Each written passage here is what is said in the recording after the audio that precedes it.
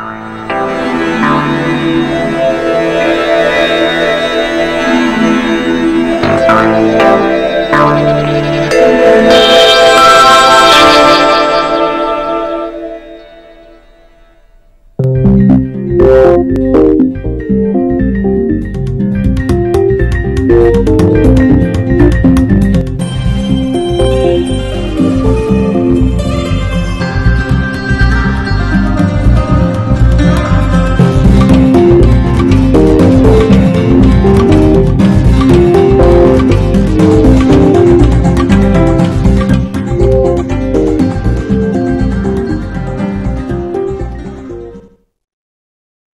রবীন্দ্রসঙ্গীতের একটি বিশেষ অংশ আছে, এত আলো জ্বালিয়েছ।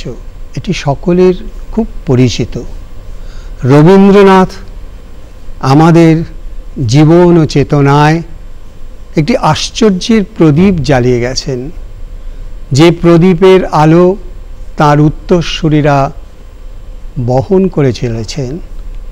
পরবর্তী প্রজন্মের এক গুণী মানুষকে আমরা পেয়েছি, যিনি সেই আলোর ঝর্ণাধারাকে আজও তার বিচিত্র গবেষণার মধ্য দিয়ে বহন করে চলেছেন। তিনি হলেন আমাদের পরম শ্রদ্ধেয় অধ্যাপক সোমেন্দ্রনাথ বন্দ্যোপাধ্যায়। আমরা এই সঙ্গে পেয়েছি তাঁরই প্রিয় ছাত্র অধ্যাপক অগ্নিমিত্র ঘোষকে। আমাদের আজকের সব আলোচনাই চলবে অধ্যাপক সোমেন্দ্রনাথ বন্দ্যোপাধ্যায়কে নিয়ে। আমরা প্রথমেই তার কাছে জানতে চাইব, সোমেনদা আপনার শৈশবের কথা আমাদের যদি শোনান। আমার জন্ম হয় মামা বাড়িতে সেটা একেবারে তার পরিবেশ অন্য অন্যরকম আসানসোলের কাছে বড়াচক বলে যে জায়গাটা আছে, কয়লা খনির মূলত। সেখানে একটা বাংলো ছিল। কয়লা খনিটা আমার মাতামহের তার মানে আমরা পেয়েছি সেই কয়লা খনি থেকে একটি আশ্চর্যের হিরেকে পেয়েছি আমরা। তো সেখানে আমার জন্ম। একটা বাংলো বাড়ি। চারপাশে শুধু কয়লার খনি। আর একটি মন্দির আছে, কালী মন্দির। পাশে কিছু গ্রাম আছে। সেখানে মূলত যারা শ্রমজীবী মানুষ, তাদের বাস। তো আমার স্পষ্ট মনে আছে আমার স্মৃতিটা একটু ভালোই বলব। খুব ছেলেবেলাকার কথা। যখন জন্মের এক বছর দু বছর পরেরকার স্মৃতি মোটামুটি আমার কাছে স্পষ্ট। ওইখানে জীবন আরম্ভ হলো। ছোট্ট একটা আপাত অবান্তর কথা বলিনি। আমার সেবা করার জন্যই একটি আহ, সৎ প্রবীণ মানুষকে রাখা হয়েছিল। তার নাম নানকু মাঝি। আমার যেটা খুব আনন্দের কথা এবং আমার খুব, আমি গৌরব অনুভব করি, ওই মানুষটি খুব ভালো। নানকু এই নামটা বাড়ির সকলের খুব পরিচিত এবং খুব স্নেহের। আমার ডাক নাম নানকু। সেই নানকু মাঝির, মাঝি আসলে আমার কি বলব সারা জীবনের মনের সঙ্গী। তাকে আজও আমি শ্রদ্ধার সঙ্গে স্মরণ করি। ভালোবাসতেন শাসন করতেন আর যেন জীবনের সঙ্গে জড়িয়ে গিয়েছিলেন। আমার এই ডাক নামটা আমার নিজের খুব প্রিয়। আপনি কি তারপরে পাঠশালায় গেলেন? আমরা বড় চোখে কিছুই হয়নি। হ্যাঁ। তখন হওয়ার বয়সও নয় না হ্যাঁ। আমরা আমাদের গ্রামে এলাম। আমার মনে আছে বিষ্ণুপুর। বিষ্ণুপুর। বিষ্ণুপুর। বিষ্ণুপুরের একটি গ্রাম। হ্যাঁ। বেশ ছোট গ্রাম কিন্তু শিক্ষিত অত্যন্ত উচ্চ- মানের মানুষও ওখানে বহু। আর যেটা আশ্চর্য ছোট্ট গ্রামের মধ্যে অজস্র মন্দির। আমাদের বাড়িতেই বিষ্ণু মন্দির ছিল। তো ওখান থেকে এলাম। এইটুকু শুনেছি মনেও আছে অল্প। পালকিতে এসেছিলাম মায়ের সঙ্গে। আচ্ছা। আর পিছনে গাড়ি ছিল ঘোড়ার গাড়ি। আমাদের দেশের বাড়িতে এসে পৌঁছলাম। তার পরিবেশ একেবারে অন্যরকম। বাড়ি আমাদের একটা তিনতলা ছোট বাড়ি খুব বড় নয় কিন্তু তিনতলা বাড়ি একটা ছিল। তার সামনে বিষ্ণু মন্দির। সেখানে সন্ধেবেলায় দাদুরা সব বসতেন। তুলসী মঞ্চ অনেকখানি জায়গা। এই পাশে একটা দোতলা মাটির বাড়ি এদিকেও একটা মাটির বাড়ি। এই বাড়িটাই হচ্ছে আমাদের দেশের মূল বাড়ি। কিছু ধানের জমি টমি ছিল ভালোই ছিল। আর ছিল বন সম্পদ মানে একটা বড় বন ছিল তার ষোলো ভাগের এক ভাগ আমাদের ছিল শুনেছি। সেই অরণ্য পরে সরকার নিয়ে নিল অ্যাফরেস্টেশনের নামে হয়ে গেল ডিফরেস্টেশন আপনি পাঠশালায় কীরকম পড়লেন? হ্যাঁ। আমি প্রথম পড়েছি বাড়িতে দাদুর কাছে। আগেই বলে নি যে আমার দাদু রাজেন্দ্রনাথ বন্দ্যোপাধ্যায় তিনি শান্তিনিকেতনের আদিতম যুগের মানুষ। আচ্ছা। উনিশশো একে আমরা সবাই জানি যে উনিশশো একে গুরুদেব তার পিতার আশ্রমে বিদ্যালয় স্থাপন করলেন।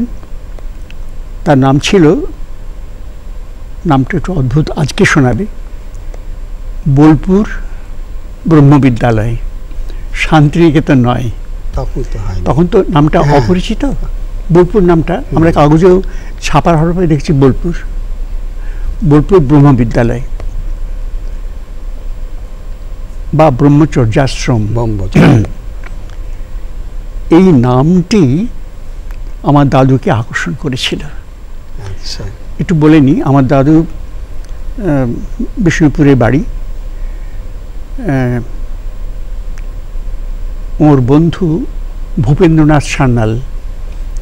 এরা দুজন হেতমপুর কলেজের জন্ম সময়ে হেতমপুর কলেজের ছাত্র। আচ্ছা। প্রথম ছাত্রগোষ্ঠীর দুজন মানুষ। তারপরে পাশ টাস করার পরে আমার দাদু বোধহয় অল্প দিন খুব অল্প দিন রেলওয়েতে চাকরি পেয়েছিলেন। আচ্ছা। এই যে ভূপেন সা- সান্যাল মশাইয়ের নাম করলাম এদের সম্পর্ক হচ্ছে এরা একই গুরুর কাছে দীক্ষা নিয়েছেন এবং গুরুদেব হচ্ছেন শ্যামাচরণ লাহিড়ি মশাই। যোগীরাজ। শ্যামাচরণ লাহিড়ি। আমার দাদু খানিকটা সাধকের মতন ছিলেন। শ্যামাচন্দ্র ঘূর্ণির ঘূর্ণির মানুষ। বিপত্নিক হয়েছেন একবারে অল্প বয়সে। বাবা একমাত্র সন্তান। বাড়িতে সম্পত্তি টম্পত্তি ছিল উনি খুব বেশি মাথা ঘামাননি সম্পত্তি নিয়ে। আমার এক ঠাকুমার সম্পত্তি দেখতেন বাবার বাবার পিসিমা। তো এই রাজেন্দ্রনাথ বন্দ্যোপাধ্যায় এবং ভূপেন্দ্রনাথ সান্যাল দুজনেই ব্রহ্মচর্যাশ্রমের নাম শুনে বোলপুর ব্রহ্মচর্যাশ্রম ওই চাকরি টাকরি ছেড়ে দিয়ে ওখানে এলেন। সেটা বোধহয় উনিশশো দুই সালে। উনিশশো সালে। উনিশশো দুই বললাম। উনিশশো উনিশশো একে জন্ম হলো। হ্যাঁ উনিশশো দুই ওরা এলেন এবং আমার দাদু দশ বছর শান্তিনিকেতনে ছিলেন আর দশ বছর ছিলেন শিলাইদহে। আচ্ছা। গুরুদেবের সঙ্গে থাকতেন ওই কুঠি বাড়িতে আচ্ছা। আর উনি যেহেতু একটু অন্যরকম মানুষ একাহারে একা এক একবেলা খেতেন নিরামিষ খাওয়া সেই জন্যে ওই পাশে খুব সুবিধা হয়েছিল। গুরুদেবই বলেছিলেন যে আপনার খাওয়া দাওয়ার আশা করি অসুবিধা হবে না। পাশে একটি গোপীনাথ মন্দির আছে। আচ্ছা। সেখান থেকে প্রসাদ আসবে। উনি বলেন খুব ভালো। শিলাইদহে দশ বছর আর শান্তিনিকেতনে দশ বছর।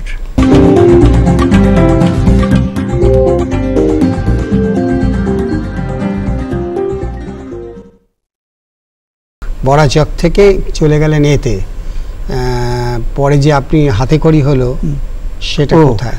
হ্যাঁ আমরা গ্রামে এলাম বাবা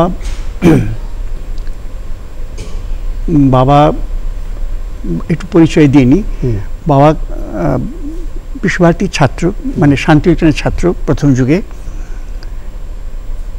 শিলাইদহের ছাত্র। গুরুদেবের কোনো স্কুল ছিল না কিন্তু খোরশেদপুর বলে একটা গ্রাম ছিল।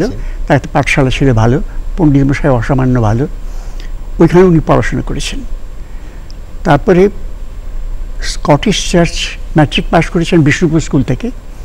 ছাত্র ভালো ছিলেন। স্কটিশ চার্চ তখন নাম ছিল Scottish churches college Scottish church নয়। স্কটিশ চার্চেস কলেজ থেকে উনি ইন্টারমিডিয়েট পাশ করেন। তারপরে বাঁকুড়া ওয়েস্টল্যান্ড কলেজ তখন নাম ছিল ওয়েস্টল্যান্ড কলেজ পরে নাম হয়েছে Christian college Bankura Westland college থেকে বিএ পাশ করেন। ইংরেজিতে আর সংস্কৃতে খুব ভালো ছিলেন। বাংলাতে তো ছিলেনই কিন্তু বাংলা সংস্কৃত ইংরেজি তিনটি ভাষাতেই খুব ভালো ছিলেন। আচ্ছা হ্যাঁ। আপনার পিতামহ রাজেন্দ্রনাথ বন্দ্যোপাধ্যায় তিনি যখন শান্তিনিকেতনে এলেন সেটা উনিশশো দুই। শান্তিনিকেতনেও ছিলেন শিলাইদাহতেও ছিলেন। অর্থ সচিবের দায়িত্ব পালন করেছেন হ্যাঁ। আবার অধ্যাপনাও করেছেন। উনি পড়াতেন মূলত সংস্কৃত ভূগোল। ভূগোল। এবং অঙ্ক সেই সঙ্গে। সব থেকে যেটা মানে আমাদের কাছে শুনে খুব ভালোও লাগে সেটা হচ্ছে যে আপনার বিষ্ণুপুরের বাড়িতেও কিন্তু রবীন্দ্র চর্চার একটা পরিবেশ ছিল। এবং সেখানে আমার মনে পড়ছে যে আপনি বলেছিলেন আমাদের যে মোহর্দি গান শোনাচ্ছেন রাজেন্দ্রনাথ বন্দ্যোপাধ্যায়কে। এবং আপনার বাবা হচ্ছেন মোহর্দির আপন মামা। হ্যাঁ এবং আপনার আরেক বোন সেখানে রবীন্দ্রনাথের সেই গানের সঙ্গে নৃত্য পরিবেশন করছেন।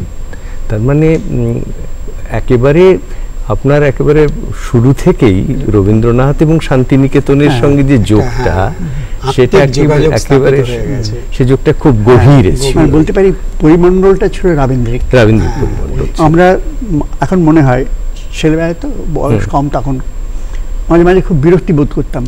সারাক্ষণ রবীন্দ্রনাথ। ছোটবেলায় এরকম মনে হতো। পরে মনে হয়েছে যা যা শুনেছি গল্প আমাকে অনেক পরে যখন আমি অধ্যাপক তখন সেই সব গল্প আমাকে সাহায্য করছে। রবীন্দ্রনাথকে বুঝতে মানুষটিকে বুঝ- বোঝার জন্য।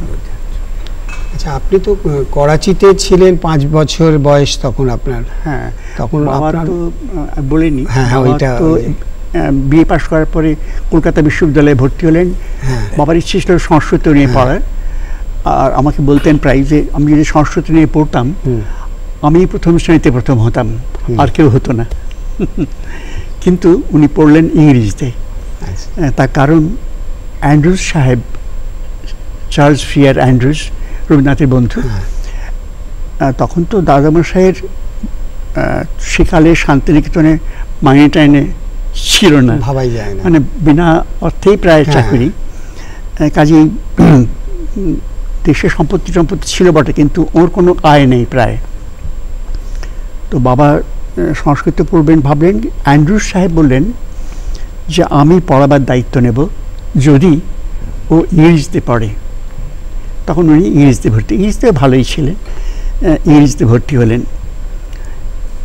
সেটা এমএতে, বিএ পাশ করার পরে, ওই বাঁকুড়া থেকে বিএ পাশ করার পর, পরে এমএতে ভর্তি হলেন ইংরেজি ভাষায় সাহিত্য নিয়ে।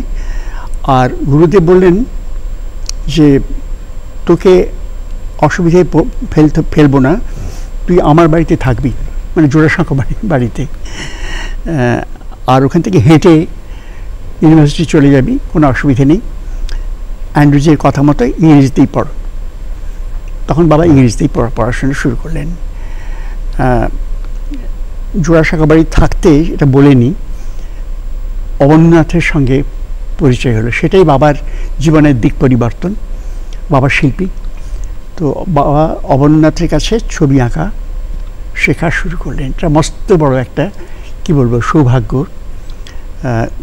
গুরুদেব সেটাই চেয়েছিলেন আসলে। তারপরে এমএ পড়তে পড়তে পরীক্ষা দেওয়া হয়নি। পরীক্ষার সময়ই দেশের ওই অসহযোগ আন্দোলন নন কোঅপারেশন মুভমেন্ট শুরু হলো। চিত্তরঞ্জন দাস তার প্রধান। চিত্তরঞ্জন দাস বাবার কাছে শুনেছি। ইউনিভার্সিটির দরজায় এসে বললেন বাবারা সব গোলামখানা থেকে বেরিয়ে এসো। এই শব্দটা ব্যবহার করেছিলেন বেরিয়ে এসো। তা ওরা শিল্পী মানুষের আবেগপ্রবণ একটু ওই চিত্তরঞ্জনের কথায় বেরিয়ে এলেন। মানে এম এ পরীক্ষা দেওয়ার মুহূর্তটায় প্রায় বেরিয়ে আসতে হলো আর কি। পরীক্ষা দেবেন এক মাস পরে বেরিয়ে আসতে হলো। আর বাবার কাছে শুনেছি গল্প যে স্যার আশুতোষ মুখোপাধ্যায় তখন উপাচার্য তিনি একটা রূঢ় মন্তব্য করেছিলেন যে চিত্তের কথা তোমরা সরে যাচ্ছ চিত্ত তার একটা ছেলেকে মানুষ করতে পেরেছে।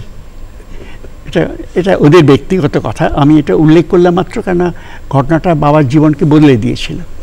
তো উনি এলেন এসে ওই অন্য জীবন শুরু করলেন জোড়াসাঁকো বাড়িতে থাকা খাওয়া হেঁটে বিশ্ববিদ্যালয়ে যাওয়া কিন্তু বিশ্ববিদ্যালয়ে বেশি দিন থাকলেন না। যখন আন্দোলনে যোগ দিলেন তখন সবচেয়ে খুশি হয়েছিলেন যিনি বাবার পড়াবার দায়িত্ব নিয়েছিলেন সিএফ অ্যান্ড্রুজ একবারে বুকে জড়ি- জড়িয়ে ধরে বললেন খুব ভালো হয়েছে তুমি শান্তিনিকেতনেই থাকো। ওখানে কলাভবন। তখন সবে কলাভবনের জন্ম হচ্ছে আর কি। কলাভবন শুরু হচ্ছে। তুমি ছবি আঁকবে। তুমি ছবি আঁকো? কলাভবনে ভর্তি হয়ে যাও। বাবা কলাভবনে চলে এলেন। আমরা শুনেছি বাবার মুখে। বলা হতো হ্যাঁ। ফার্স্ট ইলেভেন প্রথম। একাদশ ছাত্র ভর্তি হলো। এদের অনেকের নাম আমরা জানি আজকে। ধীরেন দেব বর্মন অসম্ভব। এরাই শান্তজনের পাঠভবনের ছাত্র তখন। এরা ওখান থেকে পাশ করে এলেন মানে স্কুলেই গণ্ডি পার হলেন ধীরেন দেব বর্মন বিনোদ বিহারী মুখোপাধ্যায়। দুই বিশাল মাপের শিল্পী। সেসব ভাবা যায় না। আর সব জড়িয়ে পরে রমেন চক্রবর্তী মনীন্দ্রভূষণ গুপ্ত আরও অনেকে এলেন হীরাচাঁদ যুগার এর মধ্যে বাবা ছিলেন এরা প্রথম একাদশ। ওখান থেকে বছর পাঁচ বোধহয় পড়েছিলেন। আমার বাড়িতে ছিল এখনও আছে নিশ্চয়ই। আহ, গুরুদেবের হাতের লেখা আমাদের প্রতিষ্ঠান থেকে পাশ করেছি। এটা একটা খুব এটা। মানে যেখানে যাচ্ছেন ওইটায়। কত দাম হ্যাঁ। সেটা বা- বাবা বলেন পরে বুঝেছি। আচ্ছা, এটা আমাকে- কর্মসূত্রে তো উনি চলে গেলেন আহ, বৃন্দাবনে। হ্যাঁ। তারপরে করাচিতে। হ্যাঁ। প্রথম গেলেন? হ্যাঁ প্রথম বৃন্দাবনে বৃন্দাবনে। বৃন্দাবনে বই প্রতিষ্ঠানটার নাম হচ্ছে এটা মথুরা বৃন্দাবনের মাঝামাঝি জায়গায়। নাম হচ্ছে প্রেম মহাবিদ্যালয়। ওখানে শিল্প এবং সেই সঙ্গে কারুশিল্প তার চর্চা হতো। তারই শিক্ষক। মানে কলাভবনের সরাসরি ফলটা পাওয়া গেল তখন। আহ, ভালোই ছিলেন প্রেম মহাবিদ্যালয়ে।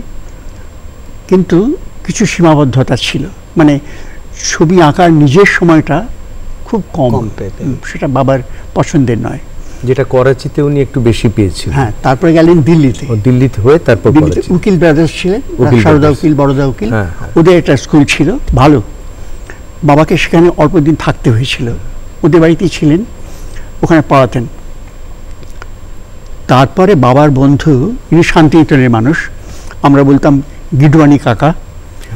এলটি গিডওয়ানি গিরবানি হ্যাঁ উনি বাবাকে বললেন যে খুব ভালো একটা স্কুল জন্ম নিচ্ছে করাচিতে তোমাকে সেখানে যেতে হবে তুমি সেখানে প্রধান হবে। তো বাবা বললেন হ্যাঁ নিশ্চয়ই যাব। সেইখানে বাবা গেলেন। বাবার প্রথম বিখ্যাত কর্মস্থান হচ্ছে করাচি। আমরা আমি মা আর আমার এক বোন আমরা সঙ্গে।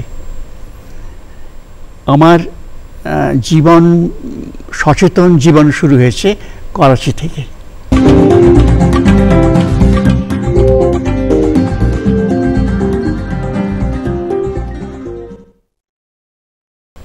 ওইখানে আপনার বাবা তো সরস্বতী মূর্তি তৈরি হ্যাঁ আহ, আমার আমাদের বাড়িটা ছিল দোতলা বাড়ি।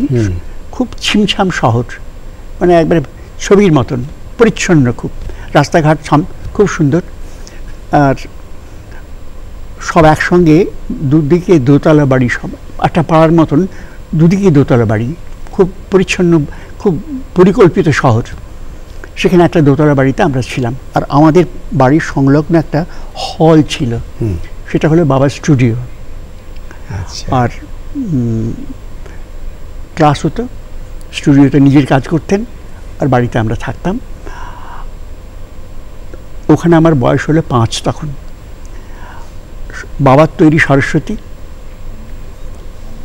আর বাবারই সহকর্মী শ্রীপদ চক্রবর্তী আমার জ্যাঠামশাই আমরা বলতাম। তিনি হাতে খড়ি দেওয়ালেন আমার। হাতে খড়ি দিয়েছিলেন সেই বাবার তৈরি সরস্বতীর সামনে। কিন্তু সোমেনদা করাচি বললেই আমার যেটা মনে পড়ে যে গান্ধীজিকে আপনি প্রথম দেখছেন হ্যাঁ। করাচিতে হ্যাঁ সেটা একটা খুব মূল্যবান অভিজ্ঞতা হ্যাঁ। আপনার এবং আমাদের কাছেও সেটা একটা বড় প্রাপ্তি আপনি একটু ওই গান্ধীজির সঙ্গে আপনার প্রথম মানে দেখা এবং তাকে চেনার যে অভিজ্ঞতার কথা একটু আমাদের বলুন। শুনি একটু আমার হাতে খড়ি হয়েছে তখন পাঁচ বছর বয়স। হঠাৎ শুনলাম হঠাৎ শুনলাম মানে কোনো ব্যক- ব্যক্তির কথা নয়। একটা অদ্ভুত শব্দ যেটা আমরা করাচিতে কখনো শুনিনি। মানে শান্ত, পরিচ্ছন্ন একটা শহর। গোলমাল নেই, মানুষের চেঁচামেচিও কম। সেখানে হঠাৎ একদিন দেখলাম, প্রবল একটা সমবেত ধ্বনি। সিন্ধি ভাষায়। আমার মনে আছে, ভাষাটা একটু জানি এখনও বলতে পারি। চালো জোয়ানো জেলরা, ধক্কো ধক্কো জেলরা। একটা বিশাল জনতা আসছে, তারা এই ধ্বনি দিচ্ছে, চলো জেলে। সেখানে দেখছি পতাকা, পতাকাতে একটা চরকার ছবি। চরকা কখনো দেখিনি। মাই বলেছিলেন আমাকে এটা চরকা। আর গান্ধীজির জয়ধ্বনি দিচ্ছে।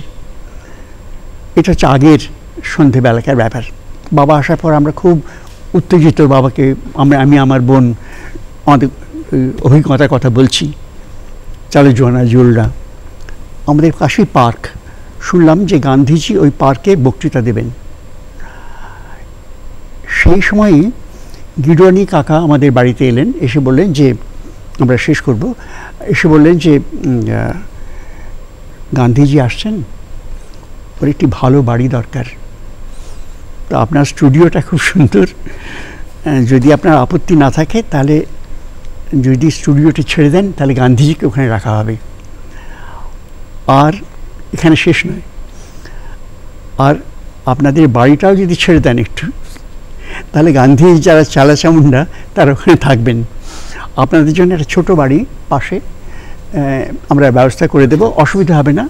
আপনি একটা ঘর বন্ধ করে ওখানে চলে যাবেন। বা বললেন নিশ্চয়ই আমরা পাশে ঘরে চলে গেলাম গান্ধীজি আমাদের স্টুডিওতে। আচ্ছা, আচ্ছা সোমেনদা আপনি তো রবীন্দ্রিক পরিবেশে বড় হয়েছেন আস্তে আস্তে কিন্তু আপনি কলকাতায় কেন পড়তে এলেন? শান্তিনিকেতনে প্রথম অবস্থায় পড়লেন না কেন? আচ্ছা বলছি তার আগে গান্ধীজি সম্বন্ধে একটু একটু মন্তব্য করে নেই আচ্ছা। হাতে শুধু ওই হ্যাঁ, আচ্ছা। পরিবেশটা বলুন। বেশ। তো আমরা করাচি ছাড়ার পরে চলে এলাম কলকাতা সরাসরি আসেনি গোরক্ষপুরে। সেখানে বিখ্যাত প্রতিষ্ঠান হচ্ছে গীতা প্রেস। হ্যাঁ, বাবা তার আর্টিস্ট হয়ে এলেন। হ্যাঁ, সব ভালো স্বাস্থ্য ভালো হচ্ছে ওখানে। টাকা কড়ির কোনো অসুবিধা ছিল না। কিন্তু রুচিটা খারাপ। বাবা বললেন এখানে থাকা চলবে না নষ্ট হয়ে যাব। তারপরে বাবা শেষ পর্যন্ত নিমন্ত্রণ পেলেন কলকাতা সরকারি আর্ট কলেজ থেকে। গভর্নমেন্ট স্কুল অফ আর্ট তখন নাম ছিল পরে হয়েছিল নামটা government college of art and craft চব্বিশ চৌরঙ্গি। ওইখানে বাবা অধ্যাপনার সুযোগ পেলেন। তারপরে কাটলো ওখানেই অধ্যাপনায়। আপনার আচ্ছা। স্কুল জীবন কলকাতায়? হ্যাঁ। হ্যাঁ তারপরে ইন্টারমিডিয়েট পড়েছেন হ্যাঁ শান্তিনিকেতন। প্রশ্ন করেছেন হ্যাঁ। কেন শান্তি শান্তিনিকেতন ওইটা করি আর আমাদের এরপরে আর সময়টা থাকছে না হাতে। শান্তিনিকেতনে পড়ার নিয়ম হচ্ছে একবারে ক্লাস টুতেই অন্তত ভর্তি হতে হবে। সেই। আমার তো তখন ভর্তি হওয়ার সময় পার হয়ে গেল। কাজে আমি কলকাতায় এসে অসামান্য একটি school Chetla boys H school আজও তার কাছে, সেই বিদ্যালয়ের কাছে আমার যে ঋণ স্বীকার করি, আর অসামান্য একজন হেডমাস্টার মশাই শৈলেন্দ্রনাথ বন্দ্যোপাধ্যায়, ওই স্কুলে ভর্তি হলাম। শান্তিনিকেতনে যেহেতু আমি অল্প বয়সে আসিনি, ভর্তি হওয়া সম্ভব হলো না। আচ্ছা আজকে আমাদের আলোচনাটা এইখানেই শেষ করতে হবে। সোমেনদাকে নিয়ে আলোচনার তো শেষ নেই। সুতরাং আমাদের আলোচনা আরও চলবে। আমরা আবার ফিরে আসব। এই পর্বে আমরা আপাতত শেষ করতে বাধ্য হচ্ছি। সময়টা অতিক্রান্ত হয়ে যাওয়ায়। সুতরাং সোমেনদা আমরা একটু অপেক্ষা করি। আমরা আবার ফিরে আসব। আপনার কাছে আরও কথা শুনব। হ্যাঁ।